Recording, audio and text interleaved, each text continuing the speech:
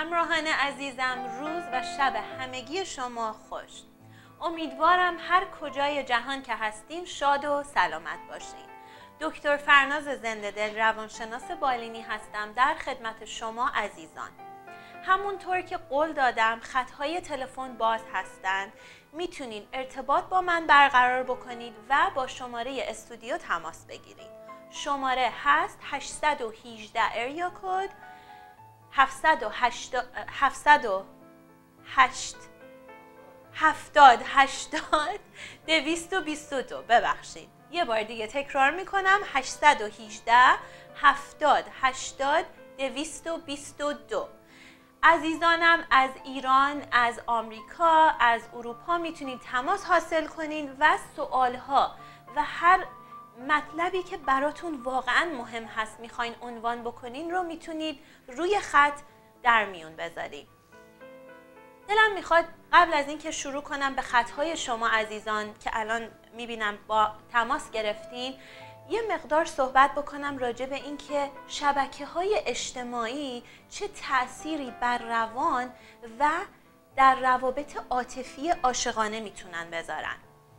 ببینین عزیزان اگه بدونین شما چطور استفاده از شبکه های اجتماعی می‌کنین می‌تونه براتون مفید و می‌تونید بهرم ببرید کسی که شبکه های اجتماعی رو از طریق فیسبوک، یوتیوب استفاده می‌کنه برای یادگیری برای اینکه یه ارتباطی رو با دوستانش اگه وقتش محدوده می‌تونه برقرار بکنه فرق داره با کسی که بسیار وقتش رو گذاشته روی شبکه های اجتماعی و از دنیای reality خودش رو تا حدی کنار کشیده.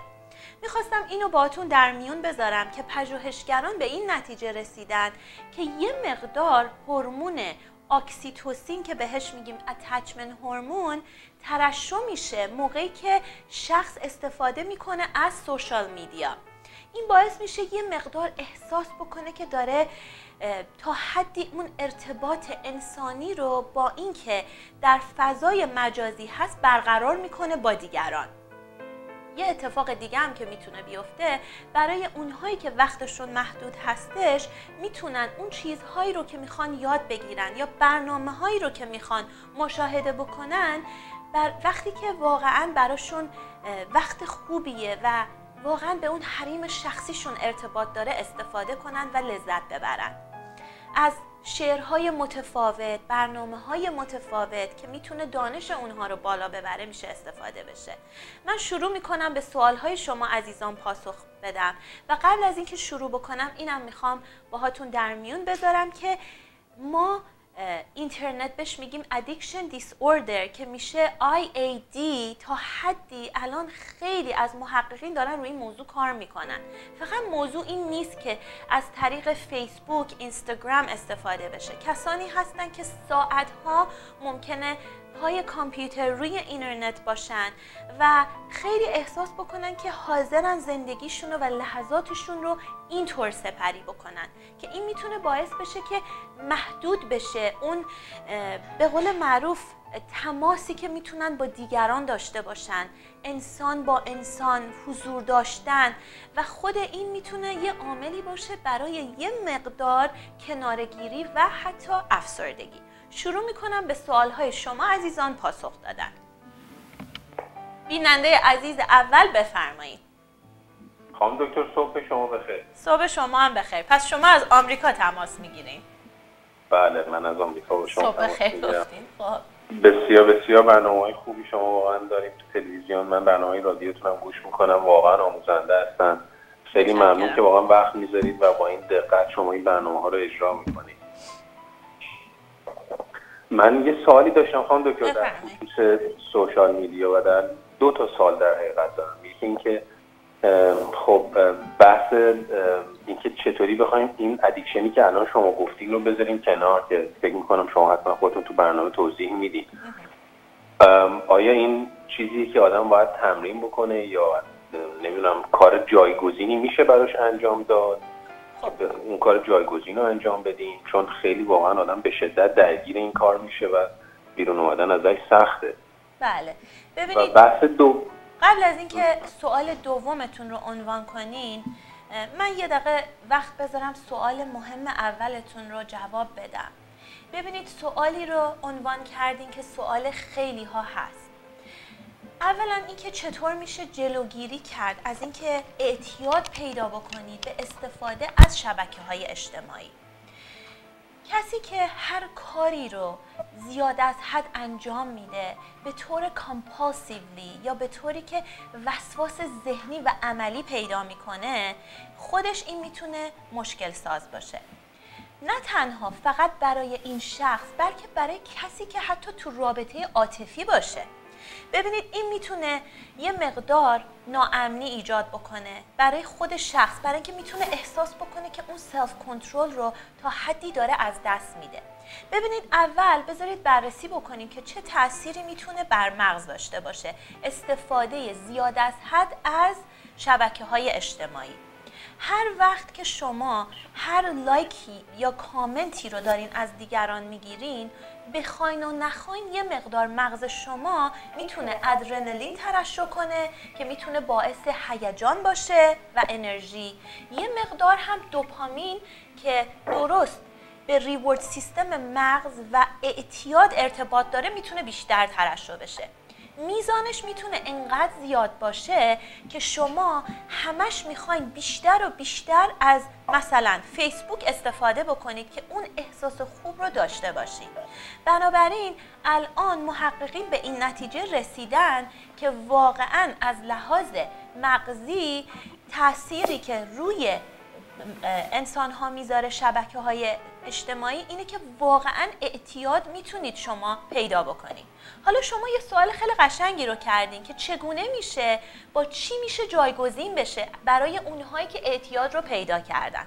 ببینید وقتی ما داریم راجع به اعتیاد صحبت می‌کنیم یعنی کسی که کنترلش رو از دست داده کسی که ایمپالسیولی یا بدونه که فکر بکنه به نتیجه کارش داره یه کاری رو به طور کامپالسیولی داره انجام میده. بنابراین اول مهم این هست که کجا این انسان کمبود رو داره که داره این اعتیاد افزایش پیدا می‌کنه که بعد بشه بهتر بررسی کرد که با چه راه و روش هایی می‌تونه جایگزین بشه. راه و روش ها می‌تونه متفاوت باشه. اول مهم اینه که بعضی ها می‌تونن که برای خودشون یه به قول معروف لیمیت بذارن. و بگن ما مثلا روزی یک ساعت از شبکه های اجتماعی استفاده می‌کنیم.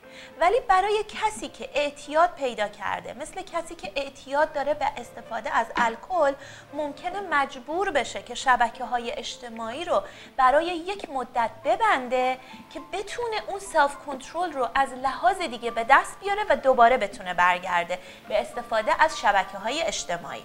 بنابراین موضوع خیلی جدی هست. برای خیلی ها دقت اگه کرده باشین حتی در بزرگ سالان متوجه میشین که ممکنه شما باهاشون مکالمه دارین و یه نفر میگه به من وقت بده من یه دقیقه برم رو فیسبوک باید یه چیزی رو چک بکنم.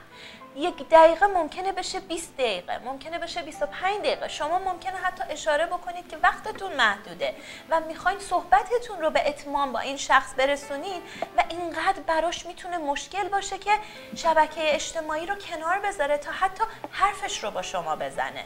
بنابراین ارتباط با میزان اینکه چقدر این شخص درگیر استفاده از شبکه های اجتماعی شده و باز برمیگرده به عمق مسئله که این شخص از چه لحاظ کمبود رو داره تجربه می‌کنه که می‌خواد جایگزین بکنه با شبکه های اجتماعی.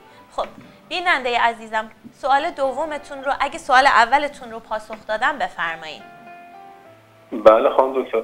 من پیش دوستان دیگه روانشناسان که رفتم و صحبت کردم روش های مختلفی به من می‌گفتن. می‌گفتن اینترنت تو خاموش کن. می‌گفتن موبایل تو خاموش کن. ولی خب من به خاطر کاری هم که می‌کنم خب که یه ذره مجبوریم که این ارتباطات وجود داشته باشه. بله. یعنی چی چیکار باید بکنیم دقیقا؟ شما خب. چه نظری دارید خب عزیزم همونطور که اشاره کردم اگه نمیشه واقعا کنار بذارین باید یک structure ی داشته باشین من به خیلی ها توصیه می‌کنم که اتفاقا social media رو روی تلفنتون نذارین که اینقدر راحت دسترسی نداشته باشین یا accessible براتون نباشه. شما اگه فقط بتونید از social media یک مدت محدود استفاده بکنید. حتی روزی دو بار دو تا نیم ساعت باشه و دسترسی کمتر داشته باشین می‌تونه این کمک بزرگی براتون باشه. و حتی می‌تونید از آلارم, آلارم کلاک به قول معروف استفاده بکنید و به خودتون بگین که حتی اگه وسط یک کاری هستین که باید تموم بشه برمیگردین و کارتون رو ادامه میدین دارین مغزتون رو ترین می‌کنین که وقتی که موقعی که باید از سوشال میدیا کنار بکشین بتونین کنار بکشین. و همین موضوع کمکتون می‌کنه در جنبه های دیگه زندگیتون که بتونید structure داشته باشین برای خودتون. بله بسیار. بعد می‌خواهم که سوال دوم من اینه. من توی relationship ی که داشتم partner من ایشون خیلی حساس بود به این social media ولی به خاطر کار ما مجبور بودیم تو social media در ارتباط باشیم. و مجبور بودیم که حتما با دوستان دیگه ارتباط داشته باشیم. می‌دونید یه جایی هست اون تفاوت بین اینکه خب بعضی دوستان توی سوشال میدیا هستن فقط به خاطر اینکه فان داشته باشن ولی من مجبور بودم که توی سوشال میدیا باشم به خاطر اینکه خب می‌خواستم حتما به خاطر کارم اونجا باشم. ولی خب برای خیلی از پارتنرها این حضور در سوشال میدیا برداشت های دیگه ای میشه. اونجا چیکار باید بکنیم؟ سوال خیلی ها رو عنوان کردیم اینقدر عزیزانی هستن که راجع به این موضوع دلخور هستن و نمی‌دونن چگونه باهاش کنار بیان. همونطور که اشاره کردم اول برنامه بعضی بعضی ها استفاده می‌کنن از شبکه های اجتماعی برای واقعا کارهاشون. و بهترین می‌تونه یکی از بهترین ابزارها باشه برای اینکه بتونید با دیگران ارتباط برقرار بکنید و کارهاتون رو تا حدی در دسترس دیگران بذارید. ببینید و وقتی که ما داریم راجع به رابطه عاطفی صحبت می‌کنیم عمق مسئله رو ما باید بهش نگاه بکنیم. وقتی که دو نفر با هم اون اطمینان و سکیوریتی رو به هم میدن خیلی کمتر استفاده از شبکه های اجتماعی تاثیر روی رابطهشون می‌ذاره. ولی اونهایی که در روابطشون مشکلاتی وجود داشته و داره که یه بخشش هم می‌تونه این موضوع مثلا فیسبوک باشه اون موقع می‌تونه این موضوع حاد یا تشدید بشه. پس بنابراین همیشه وقتی من تجزیه و تحلیل با دیگران می‌کنم که ببینم چی باعث میشه که اون شخص احساس ناامنی بکنه برای اینکه اون دوستش یا عشق زندگیش در فضای مجازی یا سوشال میدیا ارتباط با دیگران داره اینه که در جنبه های دیگه رابطه هم این شخص ممکنه امنیت رو به دست نگرفته. و یک سوال خیلی شایع اینه که چرا خیلی ها می‌پرسن مثلا چرا دوست پسر من بیشتر خانوم ها رو اد می‌کنه یا افزایش میده از لحاظ فرند در سوشال میدیا؟ و این خیلی می‌دونم ناراحت کننده برای خیلی ها می‌تونه باشه که شما صدای منو میشنوین که واقعا احساس ناامنی رو می‌تونه باز افزایش بده. در صورتی که اتفاقا آمار نشون میده خیلی خانم ها بیشتر ممکنه از فیسبوک استفاده بکنن یا از اینستاگرام و عکس بذارن. در ارتباط بخوایم مقایسه بکنیم با آقایون. خانم ها هستن که خیلی می‌تونن استفاده بکنن از سوشال میدیا برای نه فقط ارتباط برقرار کردن بلکه برای اینکه دوستانشون بدونن کجا رفتن چه کار کردن عکس می‌ذارن. پس بنابراین اینم در نظر می‌تونیم داشته باشیم که آقایون می‌تونن یه مقدار ممکنه به قول معروف خصوصی براشون یا پرایوت باشه. ممکنه خیلی کمتر پست بذارن راجع به اینکه واقعا چه کار می‌کنن در زندگیشون و با دوستانشون که بیرون میرن. با من هستین بیننده عزیز؟ بله خانم دکتر من دارم گوش می‌کنم. و ببینید شما هر چقدر بتونین این امنیت رو بدین به اون واقعا کسی که در زندگیتون هست می‌تونه مهم باشه. و پرایوریتی شما اون اولویتی رو که اگه دوست شما یا شریک زندگی شما واقعا اول مطرح هست خب مسلما شما می‌تونید از لحاظ شبکه اجتماعی محدودتر ارتباط با دیگران برقرار بکنید. از لحاظ دوستی من دارم میگم نه از لحاظ زندگی کاریتون. بنابراین اینجا هستش که اون شخص هم می‌خواد بدونه که مهم هست و مطرح هست و در زندگی شما نقش مهمی رو داره. خب عزیزم اگه دیگه سوال راجع به این موضوع ندارین من به بینندگان عزیز دیگه هم پاسخ بدم. این ممنونم خانم دکتر. لطف کردیم روز خوبی داشته باشید شما هم همچنین. متشکر از توجه شما به برنامه. قربان شما. خدا بیننده بعدی بفرمایید. الو خانم دکتر فناز زنده. حال شما؟ عالی. شما خوب هستین؟ خوب خوب من حسین بعد جورجیا. من سوال اول من سوال من نمی‌دونم سوال از چی اصلا بکنم اینا. من با, من با دختر دایی عزیزم یک دنیا معذرت می‌خوام. عزیزم یک لحظه لطفا. الان وقت برای تبلیغات هست. با من باشین تا بخش دوم برنامه.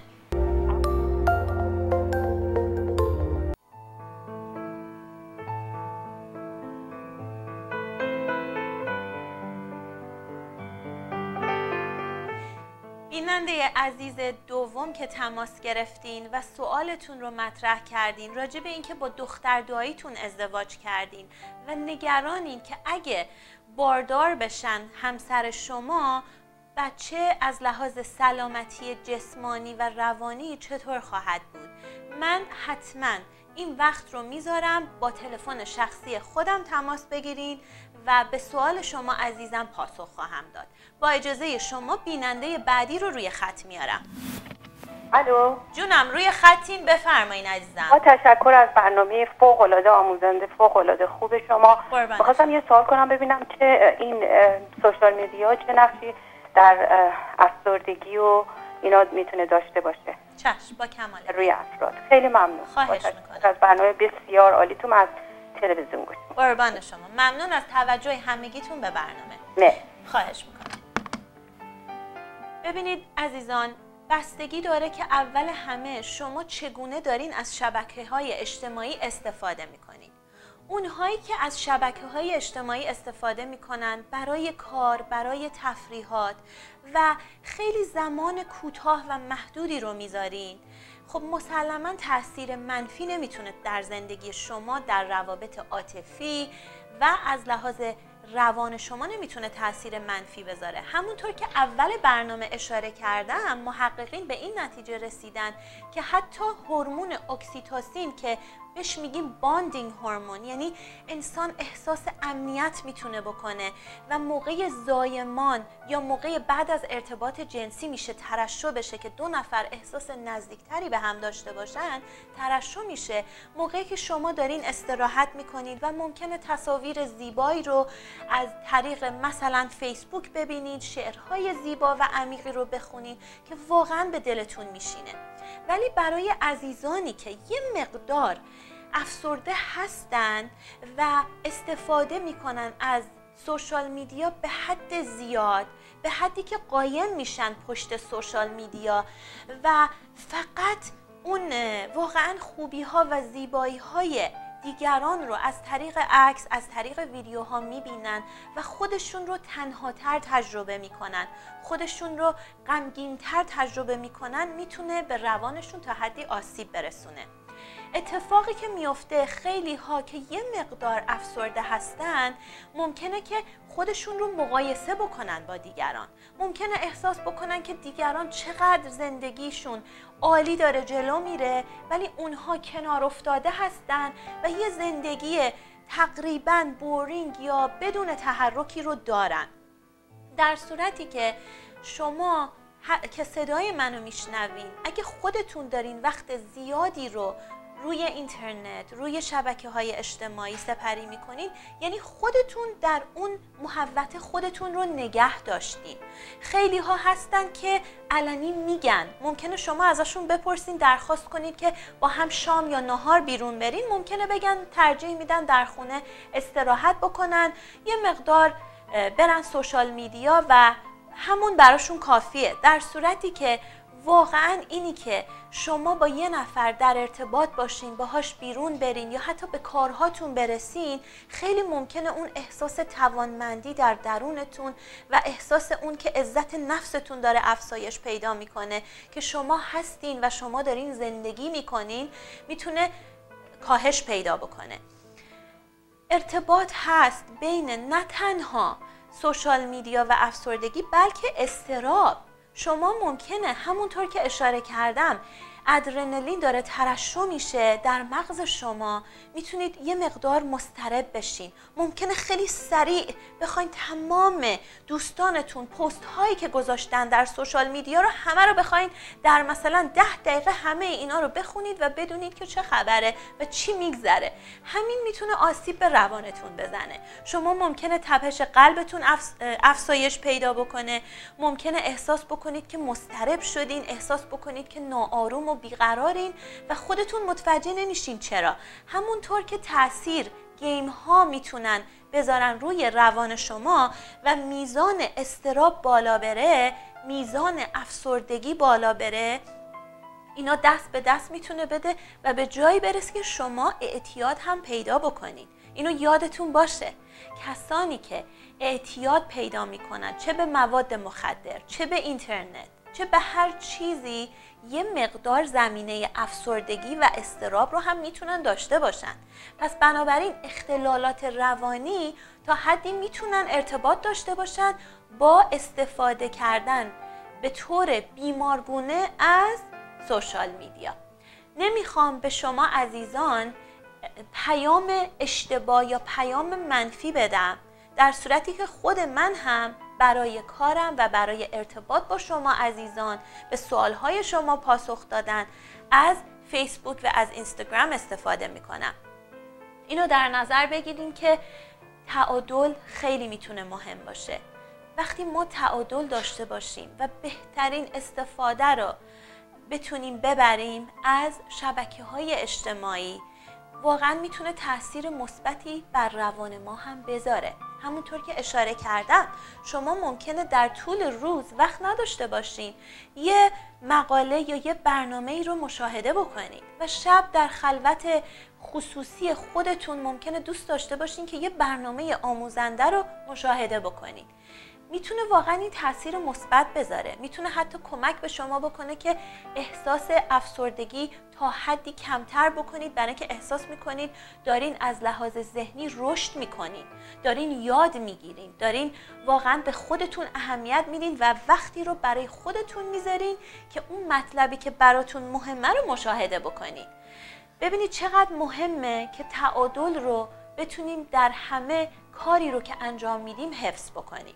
همونطورم که اشاره کردم از لحاظ افسردگی که سوال کردین خیلی ها در روابط عاطفیشون با عزیزانشون می‌تونن بیان بکنن که از وقتی که مثلا شریک زندگیشون خیلی فعال در شبکه های اجتماعی ممکنه این شخص احساس افسردگی بکنه و احساس بکنه که ناامنه و سکیور نیست به خاطر اینکه عشق زندگیش ممکنه مدام در ارتباط با دیگران هستش. برای نه برای کار برای تفریحات.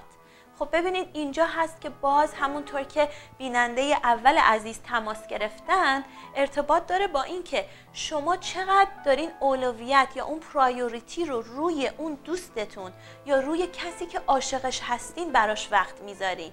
وقتی دارین مقایسه می‌کنید با فعالیتی که در شبکه اجتماعی دارین. حتی این موضوع می‌تونه این هم باشه که کسانی من یادم میاد بعضی ها هستن آقایون که خیلی دوست دارن سپورت تماشا کنن بسکتبال و فوتبال و ممکنه به حد خیلی زیاد باشه به حدی باشه که ممکنه خانومشون یا حتی فرزندانشون گله بکنن که چقدر شما دارین وقت می‌ذارین مثلا برنامه های بسکتبال رو تماشا می‌کنید این شخص ممکنه بیش از حد داره وقت می‌ذاره برای برای دیدن این برنامه.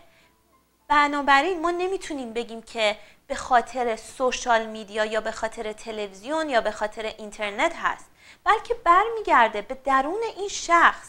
آیا نمی‌دونه که چگونه وقتش رو مدیریت بکنه تقسیم بندی بکنه و چگونه به دیگران و چگونه به خودش برسه؟